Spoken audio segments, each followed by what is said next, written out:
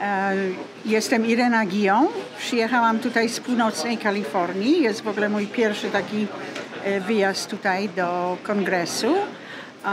Uważam, że to jest bardzo, bardzo pożyteczne, co my robimy. E, Dobrze byłoby, żeby było nas dużo więcej. Chodziłam po biurach, nie wiem ile była teraz, 9-10 biur przez krótki czas i naprawdę bardzo emocno, no, byłam bardzo emocjonalna. W ogóle to dużo ze mnie wyszło energii. Musiałam trochę usiąść i teraz jestem na nowo gotowa, żeby, żeby chodzić dalej. I to wszystko.